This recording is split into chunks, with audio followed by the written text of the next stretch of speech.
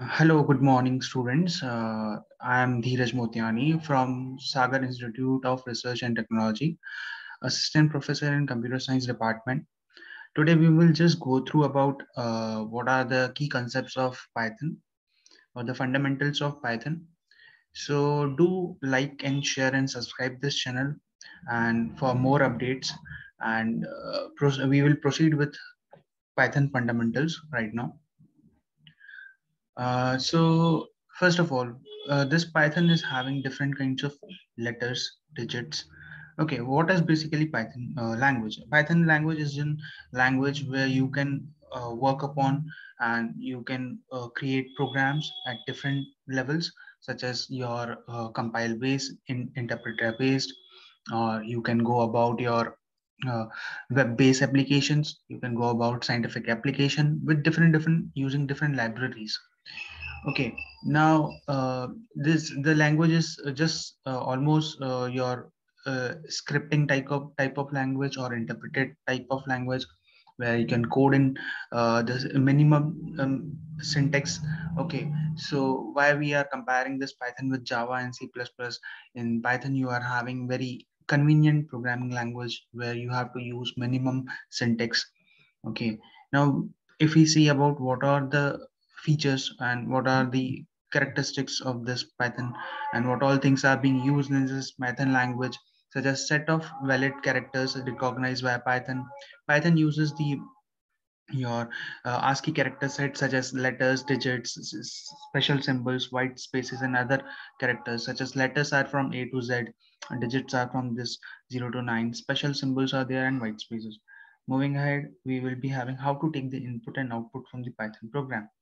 So this is a particular uh, variable and it is storing a particular string. I'm not defining any data type for this particular string. I'm directly taking the uh, value.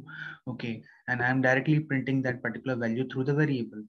Automatically, it will understand explicitly, it will understand that uh, I'm having the uh, a value to a variable which is of a string type you don't have to give specifically or define specifically the type of that. Then coming to raw input, what is raw input? It is a Python allows the users to give input at a program through a keyboard and it was being used before Python 3 version. Now it is deprecated from Python 3. It was earlier in Python 2 and before versions.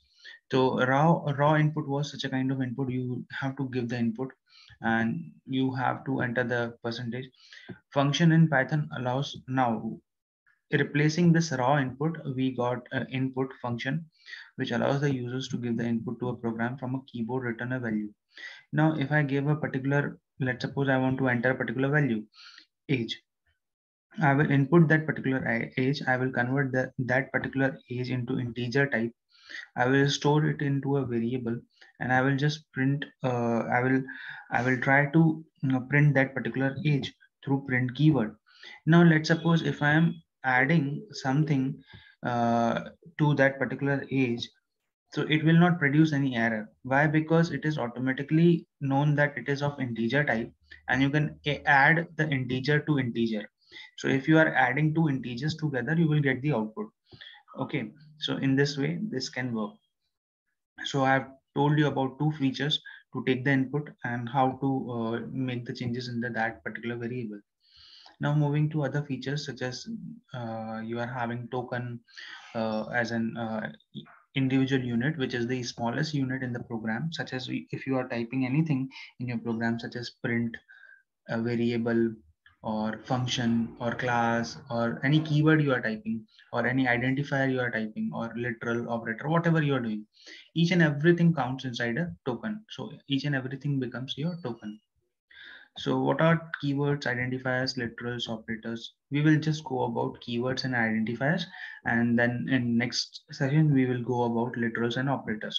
In this session, let us go about keywords and identifiers. And now, what are the keywords basically? Keywords are your reserve words for the compiler and interpreter, which cannot be used an identifier. Okay. Always keep in mind, whenever you are using reserve keywords, they should not be used as an identifier identifier are basically user defined and reserve words are which are already defined by the python in the library such as and as assert break class continue def delete elif else lambda is import if global are these the keyword basically defined in the python language? Moving to identifiers uh, identifiers is a name used to identify a variable function name class name module and other objects okay? So these are basically identifiers uh, so it can be anything variable function class uh, which is user is giving. Uh, the python is not giving this user defines them uh, from their own side. Identifier starts from your A to Z or uh, A to Z uh, in capital or small letters. It can start from underscore also, uh, followed by zero or more letters or underscores and digits. So this, this, these can follow after a particular uh, set of characters. So Python does not allow special characters. Okay. And special character percentage uh, and sign or hash or at the rate. Okay, identifier must not be a keyword. So I've already told you identifier should not be a keyword. Okay, uh, because keywords are pre predefined by the Python and identifier is the user user defined. Python is a case sensitive. Okay, whatever letters are there, uh, they are case sensitive. If you have to type P small, so it should be P small, not P capital if you talk about print keyword to print p is small p is not capital. Always keep in mind okay? These are your case sensitivity of python. Now what is roll number? And roll number are two different uh, identifiers in python okay? So you can see r is capital but uh, r is small here. So two different identifiers.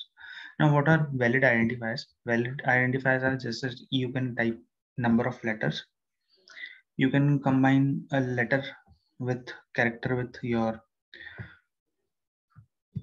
numbers. Okay you can combine a particular letter after that a digit. Okay you can give a letter or you can then give underscore then you can give number. It will work. At the starting you can give the underscore. It will also work but these are invalid identifiers. So now what are invalid identifiers? Uh, if it will start from 2 then uh, this is a digit. Digit should, should not be the starting uh, uh letter or you should not type uh, digit at the starting. So it becomes invalid. Break is your keyword. It should not be an identifier. Okay. My dot dot should not be there. Special symbol. And your hyphen. Okay should not be there because it is an special symbol. So these were basic uh, keywords and identifiers. And what are, these are the naming conventions of our identifiers. Class name should start with a upper letter and all identifiers should start with a lowercase. So keep this mind, keep it, keep this in mind. Starting an identifier with a single leading underscore. So this identifier becomes a private. Okay, single underscore. Now starting an identifier with two leading underscores indicates strong private identifier. So this is more strong than this identifier. Now if the identifier also ends with true trailing underscore, so this becomes a language defined special symbol, special name. So this is language defined. You do not have to change that particular thing. This is language defined only. Okay. Then we will move ahead this literals in next class and thank you for being with me. Uh, so we'll join my next class in python. We will be going through more fundamentals of python. And uh, do like and share subscribe this channel of uh, sirt computer science department group. Thank you for being here. Uh, nice to have you here. Thank you very much